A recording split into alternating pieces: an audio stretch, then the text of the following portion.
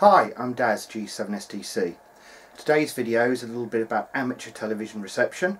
A friend of mine who's a radio ham up in Norfolk, um, he asked me um, could I just explain some of the connections and things you may find behind a satellite, um, sat analog satellite receiver that you may use for um, receiving analog uh, television repeaters. So um, this is going to be a little bit about that and just explaining the leads and connections. I have a collection here of satellite receivers and also a satellite receiver designed exclusively for amateur television. It's this unit here, it's called a Dove. It was made many years ago and it was actually a kit I believe.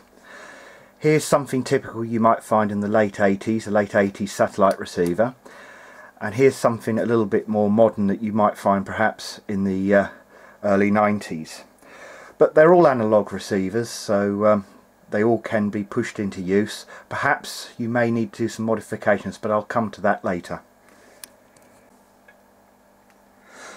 Right, we're looking at the back of the receivers now and the first connector I'm going to start with I think, a good one to start with, is actually where you connect your RF input or your signal from the aerial. It's located here, here and here on these receivers. The connector type is called an F connector. Um, because satellite in the early days was quite often receivers come from America, F connectors were employed.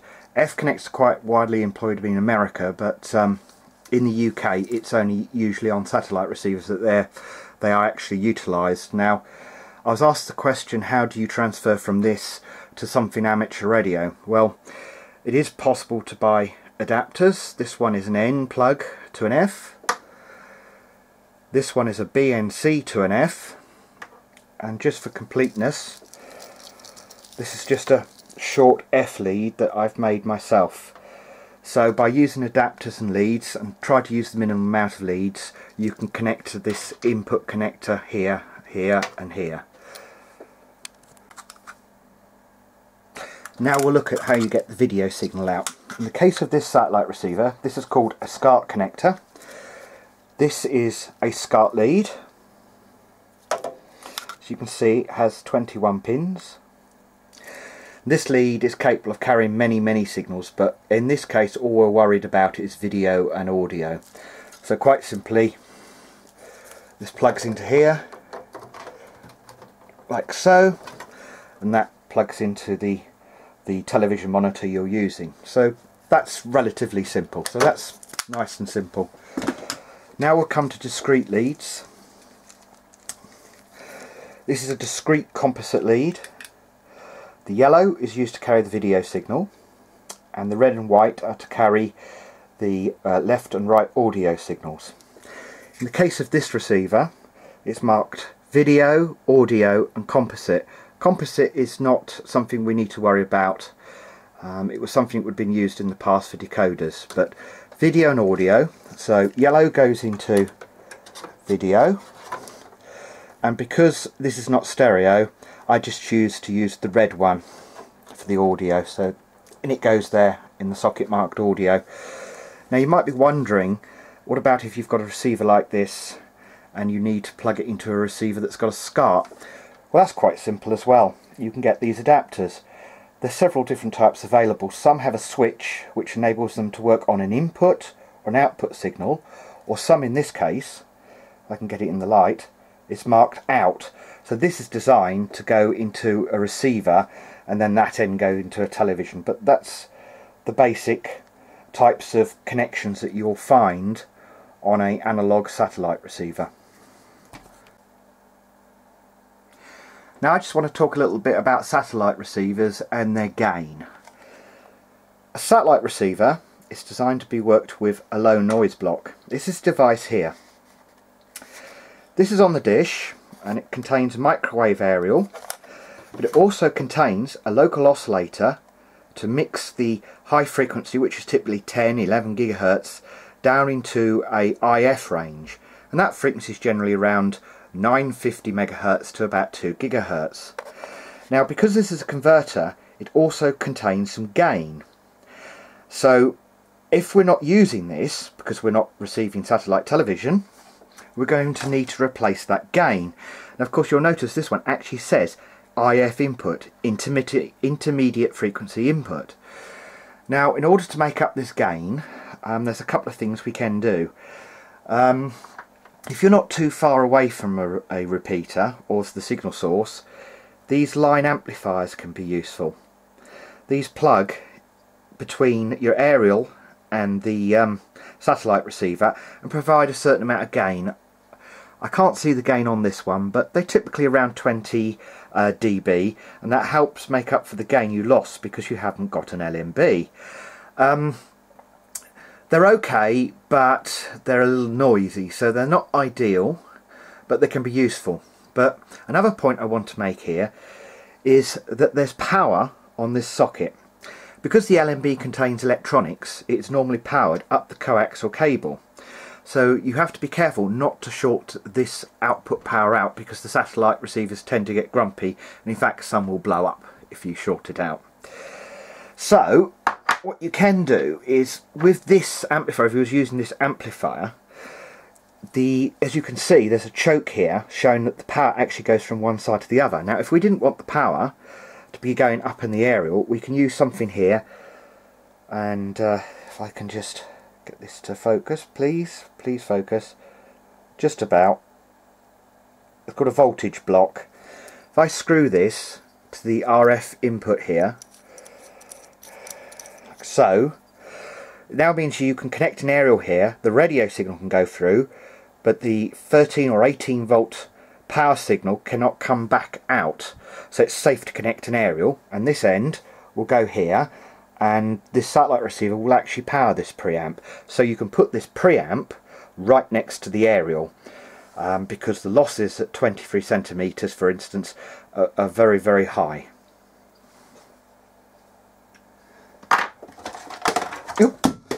just dropping everything on the floor.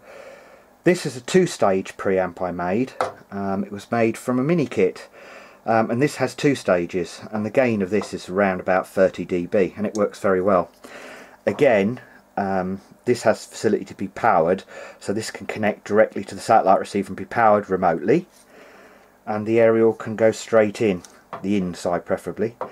And uh, that will do the job quite nicely as well but the only problem with a wideband amplifier on a satellite receiver is it doesn't like out of band signals. So quite often you may need to add a filter if you're near to a cellular or mobile phone transmitter. Okay, so I've got a simple setup here. I'm using the very old receiver. So I've got video connected to the yellow connector and audio connected to the red connector. Then I've got video in connected to the yellow connector on the monitor and audio in connected to the red one. Because we're working mono, the white connector is not used in this case. Now I'll just look at the RF input side of things and uh, some backlash on my tripod the looks of it. Okay, so the input to the satellite receiver is connected to the out on the preamp. The input the preamp I have this power breaker. I have a short length of lead. Then I have an adapter to get us to N.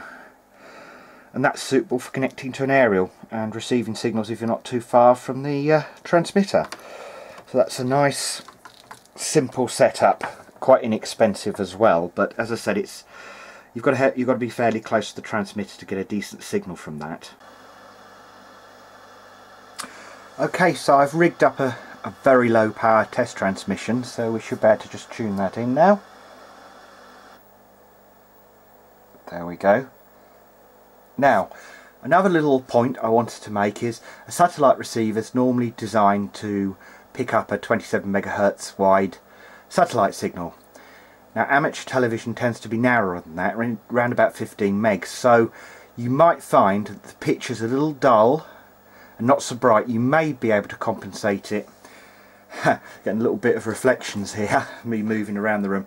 Um, you may find that you need to increase the video gain. Now I've been lucky and managed to find the right pot in, in, in a satellite receiver but if you don't want to do that you could use a video enhancer if you could find one Or another good method to increase the video signal if you find it a little weak from the satellite receiver so you've got an old VCR laying around, video recorder. Because if you feed a signal through a video recorder they tend to have an automatic gain control and that will increase it. But try turning the contrast and uh, brightness up and see if you can get a reasonable signal. But if not you need to alter the satellite receiver or you need to put some sort of video amplifier from the output of the satellite receiver. Okay then, so what I've done is I've um, put the uh, other satellite receiver on. Now this one has not had any modifications done to the video output. And I'm sure you can see that the colours look a little bit on the dim side, but